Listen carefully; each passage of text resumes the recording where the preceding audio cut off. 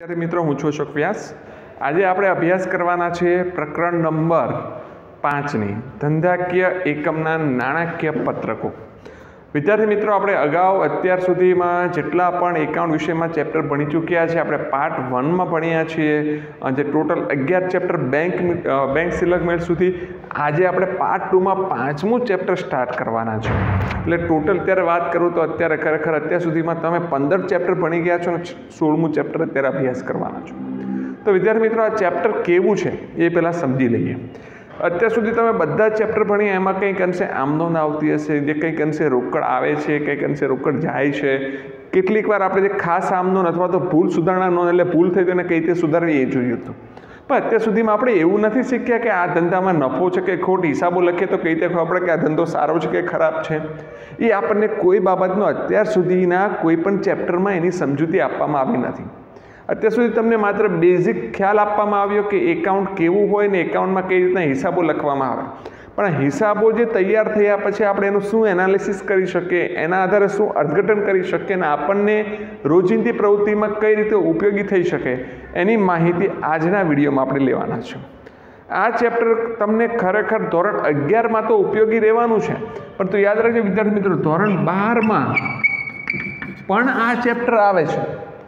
અગિયારમા ધોરણમાં તો તમે આ અભ્યાસ કરવાના છે ને અગિયારમા ધોરણમાં તમને જે બાર માર્ક્સનો દાખલો પૂછાશે, વિદ્યાર્થી મિત્રો તમે બરાબર સાંભળ્યું બાર માર્ક્સનો દાખલો પૂછાશે.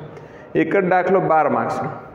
અને આ બે two same two same chapter થોડુંક વધારે ભારાંક સાથે તમને આપવામાં આવે છે. ધોરણ અગિયારમાં ઉપરાંત તમને ધોરણ બારમાં અગિયાર માર્ક્સનું પૂછાશે. ધોરણ બારમાં બાર માર્ક્સનું. સોરી ધોરણ અગિયારમાં બાર માર્ક્સનું ધોરણ બારમાં અગિયાર માર્ક્સનું તમને પૂછાશે. અને કદાચ તમારી પહેલી પરીક્ષા હશે ધોરણ બારની, ત્યારે કદાચ અગિયાર અગિયાર માર્ક્સના બે દાખલા બાવીસ માર્ક્સનો વેટેજ ધરાવતું હશે. એટલે આ ચેપ્ટર ખૂબ જ મહત્ત્વનું છે તમારા બારમા ધોરણની બોર્ડની પરીક્ષાના પાયા માટે.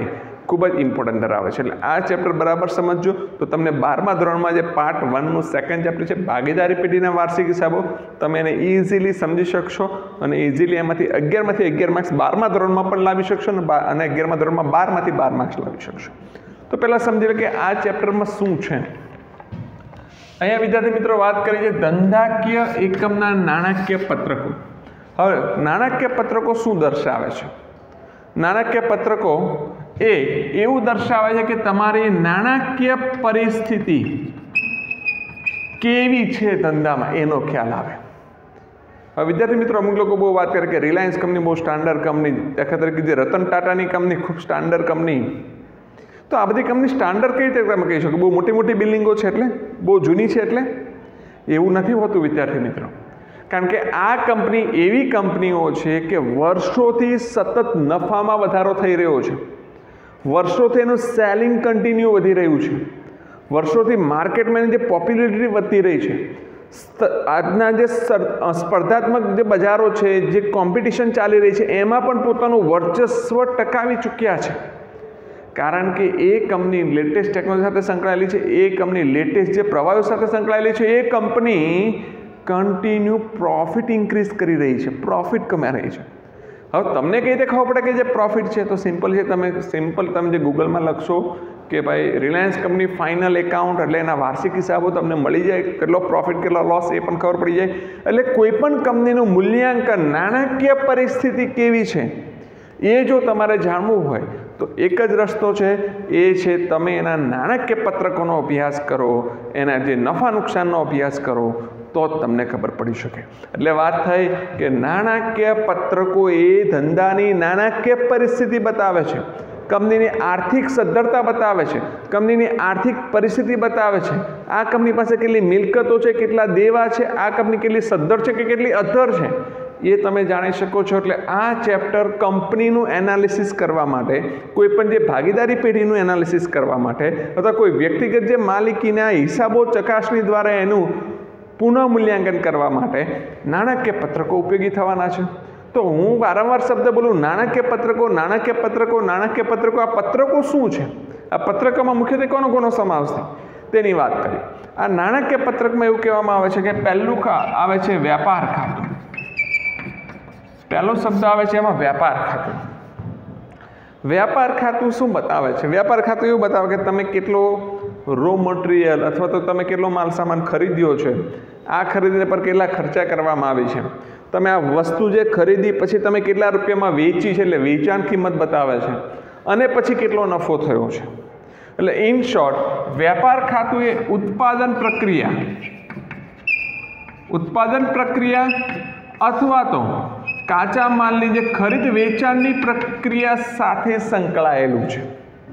એટલે કે ધંધાના જે બેઝિક કાર્યો થઈ રહ્યા છે, જે મુખ્યત્વે એના જે પાયાના કાર્યો થઈ રહ્યા છે, એની સાથે સંકળાયેલું ખાતું છે, જેને આપણે કહીએ છીએ વ્યાપાર ખાતું. અને વ્યાપાર ખાતું તૈયાર થાય એટલે આપણને શું મળવાનું, વિદ્યાર્થી મિત્રો? જેને કહેવાય છે નફો. પણ નફો કેવો મળવાનો? માત્ર ને માત્ર કાચો નફો અને બીજી મળવાની કાચી ખોટ. તો આ રીતે આપણો કાચો નફો અને કાચી ખોટ તૈયાર થાય છે.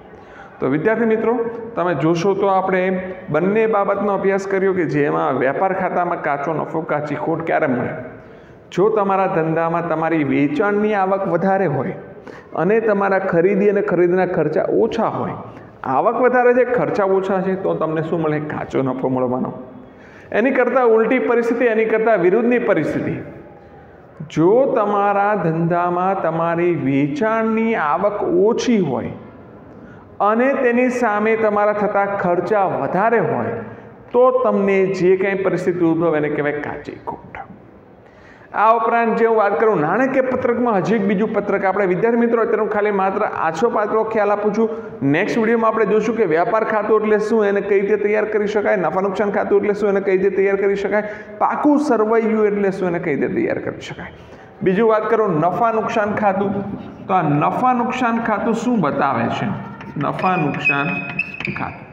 આ નફા નુકસાન ખાતું શું બતાવે છે? શબ્દ જ સમજ પડી જાય કે નફો અને નુકસાન. તમારા ધંધામાં ખાલી માલ સામાન ખરીદો ત્યારે ખર્ચ થાય એવું નહીં, એ સિવાયના પણ ખર્ચા હોય.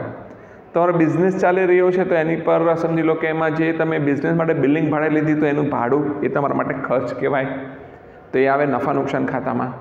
સમજી લો કે તમે તમારા બિઝનેસની ખૂબ માર્કેટમાં જાહેરાત કરો છો.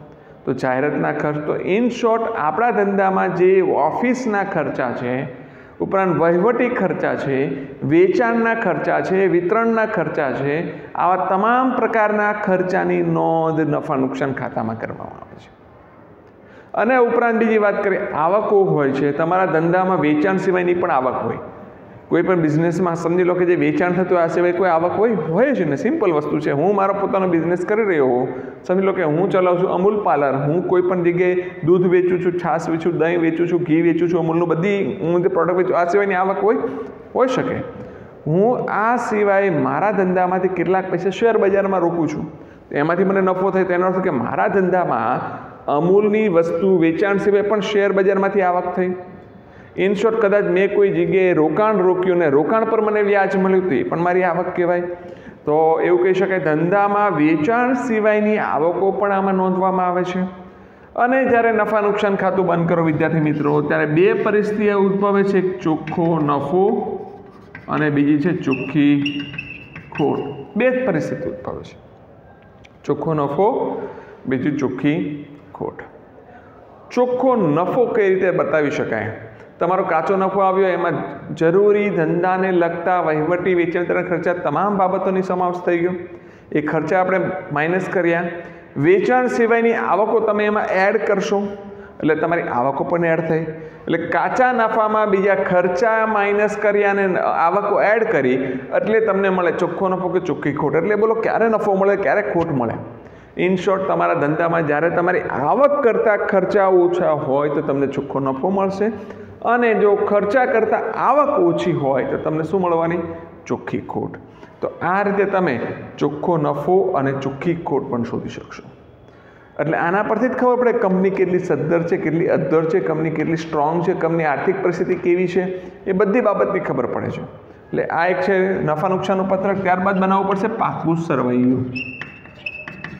પાકું સરવૈયું એ શું છે એવો પ્રશ્ન એક માર્ક્સમાં પૂછાય છે. પાકું સરવૈયું એ ખાતું નથી, પત્રક છે. એટલે પાકા સરવૈયામાં કોઈ દિવસ ઉધાર જમા લખવામાં આવતું નથી. પાકા સરવૈયામાં જે ડાબી બાજુ હોય છે, એને કહેવાય છે મૂડી દેવા બાજુ અને જમણી બાજુ હોય છે, જેને કે મિલકત બાજુ. અત્યારે માત્ર આછો પાત્રો ખ્યાલ આપું છું. નેક્સ્ટ વિડીયોમાં ડીપમાં સમજાવીશ પાકું સરવૈયું શું છે, નફા નુકસાનનું ખાતું શું છે. હવે સમજીએ આપણે આગળ કે પાકું સરવૈયું છે એ શું બતાવે છે? પાકું સરવૈયું એ કોઈપણ ધંધાની આર્થિક પરિસ્થિતિ બતાવે છે.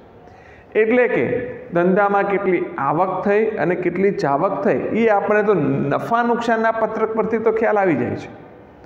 પરંતુ ધંધામાં કેટલી મિલકતો છે, એની સામે મિલકતો સામે કેટલું દેવું છે, એની આર્થિક પરિસ્થિતિનો ખ્યાલ માત્ર ને માત્ર પાકા સરવૈયા દ્વારા જ આવે છે. એટલે કે કોઈ પણ બિઝનેસનું એનાલિસિસ કરવું હોય તો બે પત્રકોનો જ માત્ર સ્ટડી કરવામાં આવે છે. એક છે નફા નુકસાનનું પત્રક અને બીજું છે પાકું પુસ્તકભાઈ એટલે આ બે પત્રકોનો અભ્યાસ કરો તો તમને ઇઝીલી કોઈ પણ કંપનીની નાણાકીય પરિસ્થિતિ કેવી છે એનો ખ્યાલ આવે છે. નાણાકીય પત્રકોમાં વાત કરીએ તો એનું જે વેપાર ખાતું, નફા નુકસાન ખાતું અને પાકું સર્વે ત્રણ બાબતો આપણે સ્પષ્ટ રીતે સમજ્યા વિદ્યાર્થી મિત્રો, તમે આ જે ત્રણ ત્રણ બાબતો સમજશો તો તમે ઇઝીલી અગિયાર માર્ક્સનો દાખલો ગણી શકશો. અને આ ત્રણ ત્રણ પત્રકોની વાત કરું, બે ખાતું અને એક પત્રક, એ તમને બારમા ધોરણમાં પણ ઉપયોગી થવાના છે. વિદ્યાર્થી મિત્રો, આપણે નેક્સ્ટ વિડીયોમાં સમજવાના છે કે આપણે કઈ રીતે વેપાર ખાતું તૈયાર કરાય, એમાં મુખ્યત્વે કઈ કઈ બાબતો આવે? બીજું સમજવાનું નફા નુકસાન ખાતું, તે કઈ રીતે તૈયાર થાય, અને એમાં કઈ કઈ બાબતો આવશે? અને છેલ્લે શીખવાના પાકું શરૂ જે પત્રક છે, ખૂબ જ મહત્ત્વનો જે ભાગ છે નાણાકીય પત્રકનો. એનું પણ એનાલિસિસ કરવાના છે. ત્યાં સુધી આપનો દિવસ શુભ રહે. Thank you very much